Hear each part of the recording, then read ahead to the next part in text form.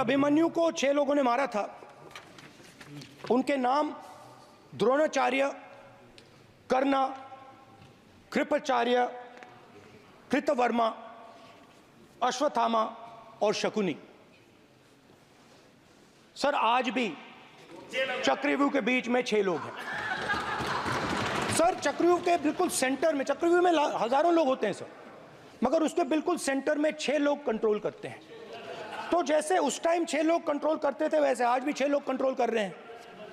चक्रव्यूह को नरेंद्र मोदी जी अमित शाह जी। प्लीज़ एक मिनट एक मिनट एक मिनट एक मिनट प्लीज़ नहीं। सब बोलने दीजिए। हाँ आप बैठिए आप बैठिए आप बैठिए आप बैठिए आप बैठिए। मान्य सदस्य आप संवैधानिक पद पर हैं। आपके कई मान्य सदस्यों ने यहाँ पर मुझे लिख लिख कर दिया है।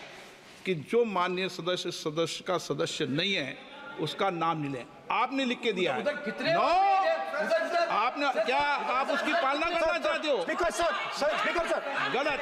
मैं मैं माननीय एक minute. Hold on hold on hold on speaker sir अगर आप चाहते हैं तो मैं एक मिनट एक मिनट। मैं प्रतिपक्ष के नेता से ये तो अपेक्षा करूँगा सही। कि वो सदन की नियम मर्यादा और मर्यादा को बने। ये अपेक्षा करता हूँ। आप चाहे नहीं करें पर मैं अपेक्षा करता हूँ। नहीं सर मैं अगर आप चाहते हैं सर मैं फिर माननीय सदस्य आप अगर आप चाहते हैं प्लीज़ मैं नहीं चाहता सदन के नियम प्रक्रियाओं से सदन चलता है। सर अगर आप कहते मैं निकाल देता नो नो सर। सदस्य मैं तीन ही नाम नहीं, नहीं, नहीं माननीय सदस्य। नहीं नहीं कहा? और आप video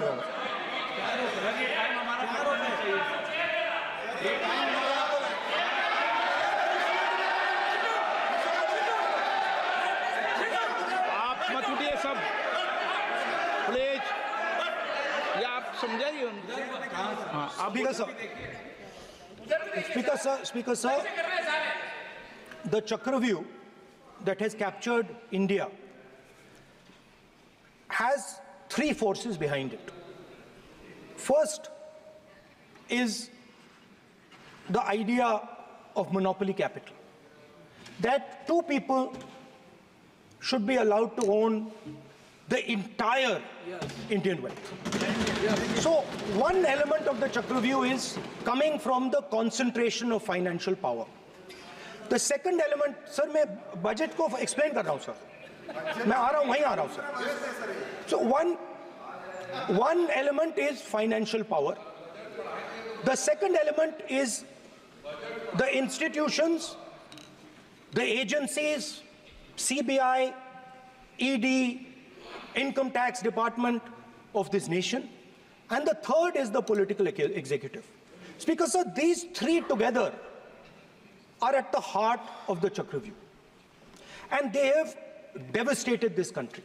Speaker, sir, my expectation was that this budget would weaken the power of this Chakravyuh.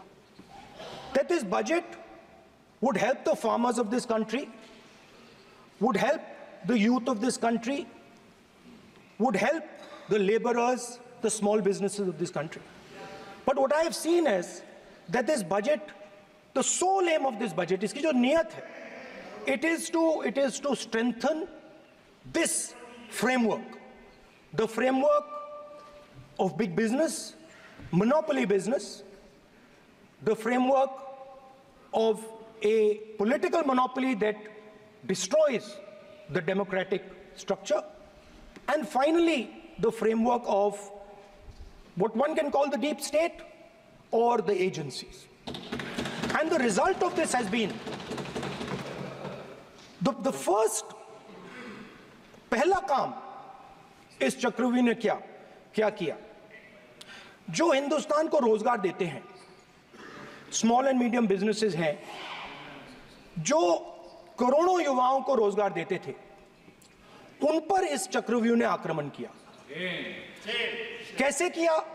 नोटबंदी जीएसटी और टैक्स टेररिज्म। आप लोग आतंकवाद की बात करते हो, पूरे देश में, पूरे देश में अगर कोई भी व्यक्ति छोटा बिज़नेस चलाता है तो रात को उसको फ़ोन कॉल आता है इनकम टैक्स डिपार्टमेंट से जीएसटी से और टैक्स टेररिज्म का वो शिकार बनता है। इस टैक्स टेररिज्म को रोकने के लिए बजट में आपने कुछ नहीं किया है। तो टैक्स टेररिज्म के कारण और ये जो आपकी नीतियाँ हैं, जो आपने कोविड के समय बड़े बिजनेसेस की मदद की और जो स्मॉल एंड मीडियम बिजनेसेस थे, उनको खत्म किया, उसके कारण आज हिंदुस्तान के युवाओं को रोज़गार नहीं मिल सकता है। बिल्कुल एक युवा को रोज़गार नहीं मिल सकता है। अब फाइनेंस मिनिस्टर बैठी हैं। अब युवाओं के लिए आपने क्या किया? बजट में आपने इंटर्नशिप प्रोग्राम की बात करी। और ये शायद एक मज़ाक है, क्योंकि आपने कहा कि ये इंटर्नशिप प्रोग्राम सिर्फ़ हिंदुस्तान की 500 सबसे बड़ी कंपनियों में होगा। और निन्यानवे परसेंट जो हमारे युवा हैं उनको इस इंटर्नशिप प्रोग्राम से कुछ लेना देना नहीं, कोई फ़ायदा नहीं होने वाला है। तो आपने पहले टांग तोड़ दी और उसके ऊपर आप बैंडेड लगाने की कोशिश कर रहे हैं। मेन मुद्दा आज युवाओं का एग्ज़ाम पेपर लीक है। जहाँ भी हम जाते हैं, आपने बेरोजगारी बेरोजगारी का चक्रव्यूह बना दिया इनके लिए, और जहाँ भी हम जाते हैं, वो कहते हैं, देखिए, बेरोजगारी है मगर पेपर लीक भी होता है। तो आपने एक साइड पेपर लीक चक्रव्यू दूसरी साइड बेरोजगारी चक्रव्यू पेपर लीक मैं आपको बताता हूँ, दस साल में सत्तर बार हुआ है, अगर आप जानना चाहते हैं। अगर आप जानना चाहते हैं, दस साल में सत्तर बार हुआ है तो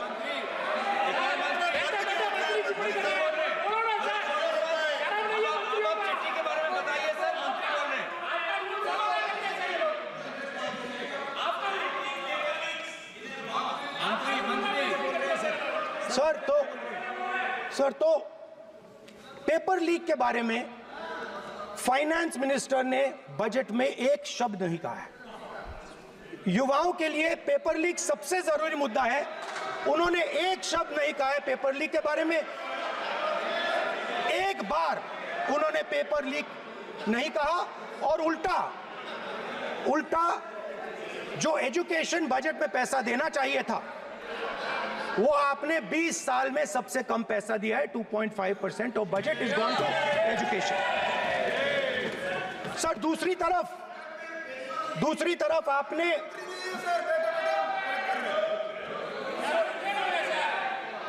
आपकी नहीं मानते। सर ये रनिंग कमेंट्री कर रहे हैं है सर दूसरी तरफ़ पहली बार सेना के जवानों को आपने अग्निवीर के चक्रव्यूह में फंसाया। सही बात।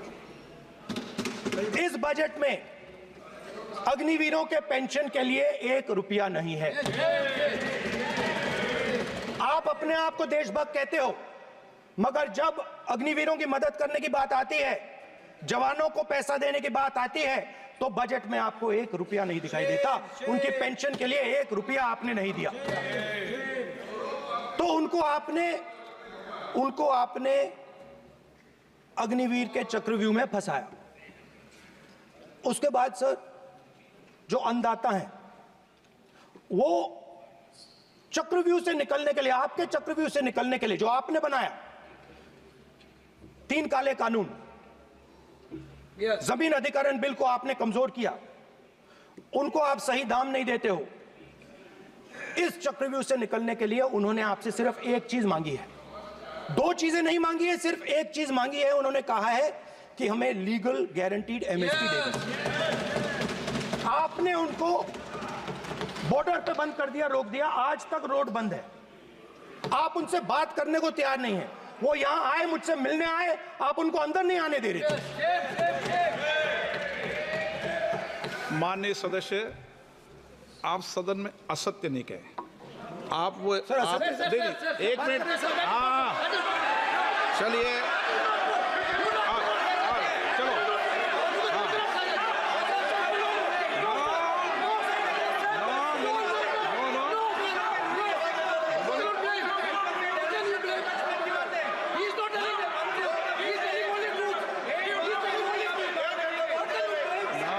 सर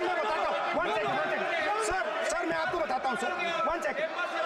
आपको फैक्ट बताता हूँ सर जो मुझे एक सेकंड हाँ बता मैं आपको फैक्ट बताता हूँ फिर आप मुझे करेक्ट कर दीजिए स्पीकर सर फार्मर्स का डेलीगेशन नहीं सर मैं आपको फैक्ट बताता हूँ।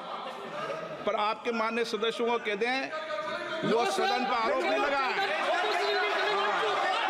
मेरे पास रिपोर्ट से बोलता हूँ मैं बिना रिपोर्ट के नहीं बोलता हूँ हाँ, बोलिए बोलिए उनको बोलने दीजिए उनको बोलने दीजिए उनको बोलने दीजिए आप बोलने दीजिए उनको बोले वो बोले बताएँ वो बताएँ बताएँ मैं बताऊँगा speaker sir one second speaker sir मैं आपको बताता हूँ जो जो जो मुझे मालूम है स्पीकर सर मैं आपको बताता हूँ। बैठिए। स्पीकर सर हुआ क्या? वहाँ पे सर मुझसे मिलने एक फार्मर का डेलीगेशन आया। मुझे बताया गया कि फार्मर के डेलीगेशन को अंदर नहीं आने देंगे। मैं उनसे मिलने जब गया तब उनको अंदर आने के दिया गया था। सर ये फैक्ट है सर अब पता नहीं कोई मिसकम्युनिकेशन हुआ वो अलग बात है। बट फैक्ट ये है कि जब मैं मीडिया के साथ वहाँ गया तब दरवाजे पार्लियामेंट के संसद के उनके लिए खुले। उससे पहले वो बंद थे। ठीक है। और ये आप उनसे भी पूछ लीजिए sir. Please please no please please एक मिनट। एक मिनट प्लीज़ आपने विषय उठाया इसलिए मैं बोल रहा हूँ। ऐसे तो सदन की व्यवस्थाओं पर सवाल नहीं उठाना चाहिए। किसको आने दें? एक मिनट प्लीज़ बैठिए। किसको आने दें? किसको अलाउ नहीं करने दें? ये स्पीकर का जुडिक्शन होता है। नंबर एक जब ये सूचना आई आप मिले उनसे अंदर मिले लेकिन उसमें एक सदन की मर्यादा का उल्लंघन हुआ कि कभी भी सदन में मान्य सदस्य के अलावा दूसरा कोई व्यक्ति बाइट नहीं दे सकता। और हाँ और आपकी मौजूदगी में उन्होंने बाइट दी ये क्लियर करना चाहता हूँ। सर ये टेक्निकलिटी है सर ये मुझे मालूम नहीं थी। कोई नहीं।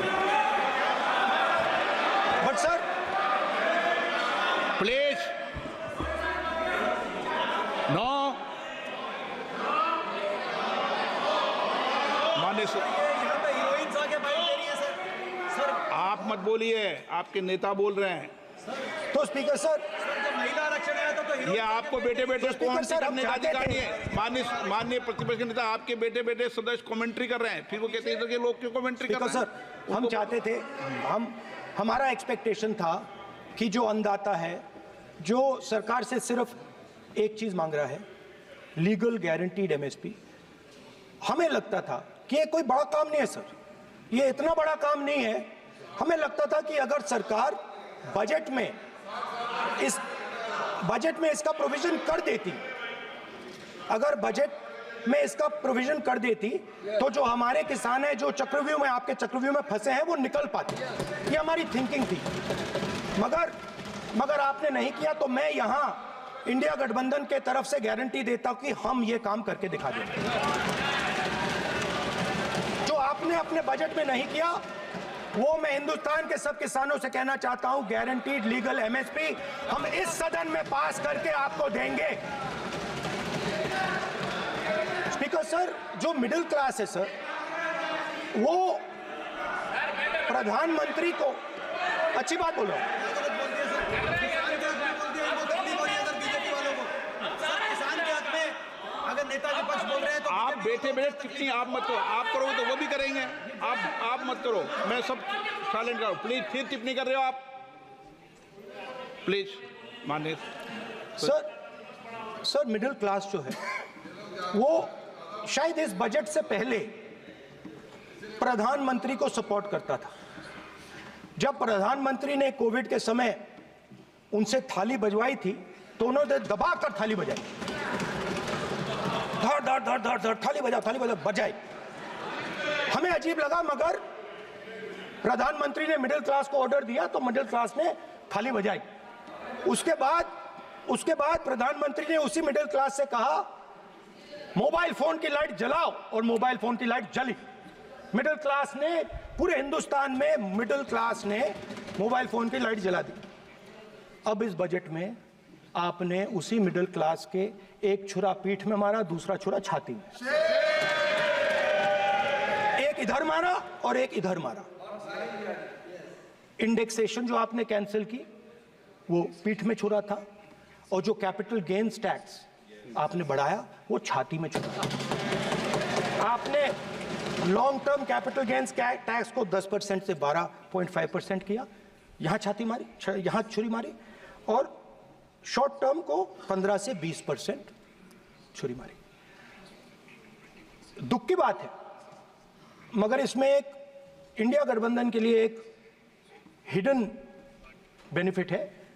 मिडिल क्लास अब आपको छोड़ने जा रही है और इस साइड आ रही है। तो मेरा कहना है, जहाँ भी आपको मौका मिलता है, आप चक्रव्यूह बना देते हो। एक चांस मिलता है आप चक्रव्यूह बना देते हो, हम चक्रव्यूह तोड़ने का काम करते हैं। हमारे बजट में किसान का कर्जा माफ़ हुआ, चक्रव्यूह तोड़ा। मनरेगा हुआ, चक्रव्यूह तोड़ा। तो हम चक्रव्यूह तोड़ने का काम करते हैं, आप चक्रव्यूह बनाने का काम करते हो। आप चाहते हो कि हिंदुस्तान छोटे छोटे छोटे छोटे छोटे खांचों में रहे। और हिंदुस्तान के गरीब लोग सपना ना देख पाए। सिर्फ़ अरे, क्या सर? मैं सर कैसे बोलूँ सर? माननीय सदस्य एक मिनट एक एक मिनट एक मिनट सर एक मिनट। माननीय सदस्यगण आपके एक मिनट। आपके उपनेता मुझे लिखित में पत्र देके गए हैं कि कोई भी माननीय सदस्य जो इस सदन का सदस्य नहीं उसके बारे में टिप्पणी ना करें। लिखित में देखे गए इसलिए आपको। स्पीकर सर स्पीकर आप सर। बैठ जाइए। स्पीकर सर तो अगर सर मैं आपसे सवाल पूछना चाहता हूँ। मेरे से सवाल मत नहीं पूछ सकते आप। सॉरी सर सर तो सर मैं फिर फिर मैं सर थ्री और फोर कह देता हूँ उनको। थ्री और फोर ठीक है सर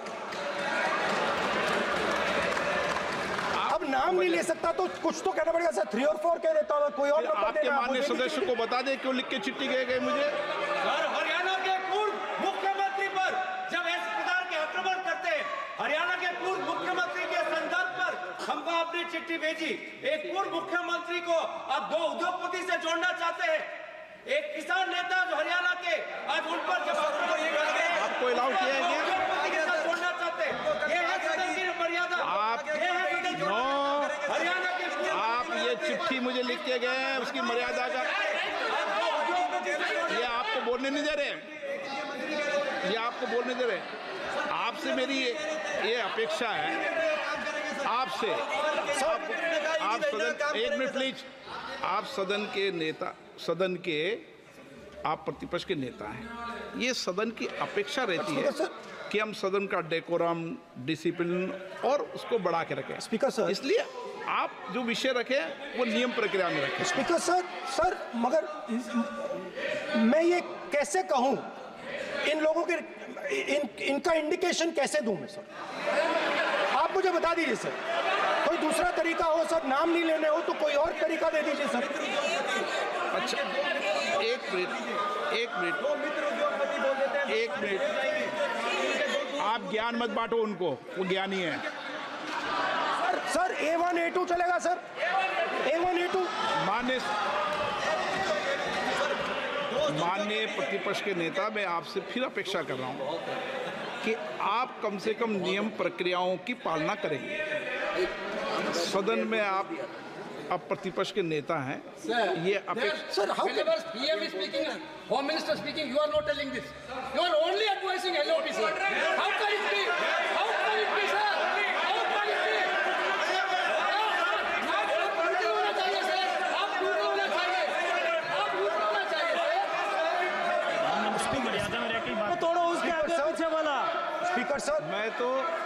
सबसे ये अपेक्षा आप बैठ जाइए। आप किसने कहा? प्लीज़ बैठिए पॉइंट ऑफ़ ऑर्डर जानते हो पॉइंट ऑफ़ ऑर्डर क्या होता है? प्लीज़ बैठो। हमारे नेता बोल रहे हैं point of order please. Speaker sir. एक मिनट प्लीज़। बैठिए। एक स्पीकर सर। सर ये जो लोग ये दो जो दो लोग हैं सर ये हिंदुस्तान के इंफ्रास्ट्रक्चर को बिज़नेस को कंट्रोल करते हैं सर। इनके पास एयरपोर्ट है, टेलीकॉम का सिस्टम है, अब पोर्ट्स हैं, अब रेलवेज में जा रहे हैं।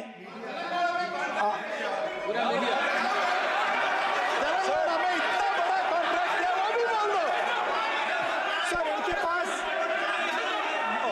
राजस्थान वाला भी बोलो सर इनके पास सर इनके पास हिंदुस्तान का पूरा धन का मोनोपोली है sir Let me finish.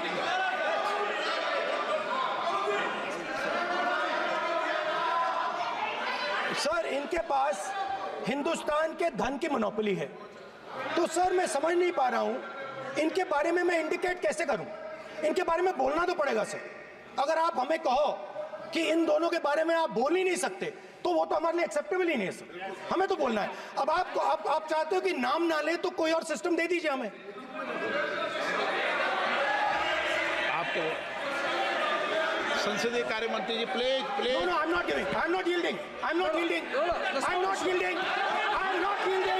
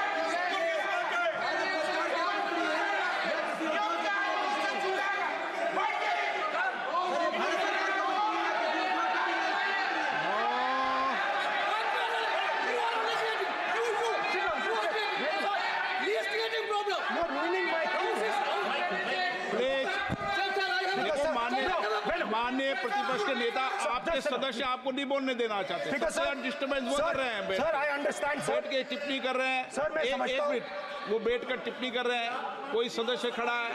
यही आपको डिस्टर्बेंस कर रहे हैं सबसे ज़्यादा। सर राहुल गांधी जी। प्लीज़ आपको नहीं बोलना है। Please Rahul Gandhi speaker sir मैं बात समझता हूँ। प्लीज़ एक स्पीकर सर मैं समझता हूँ।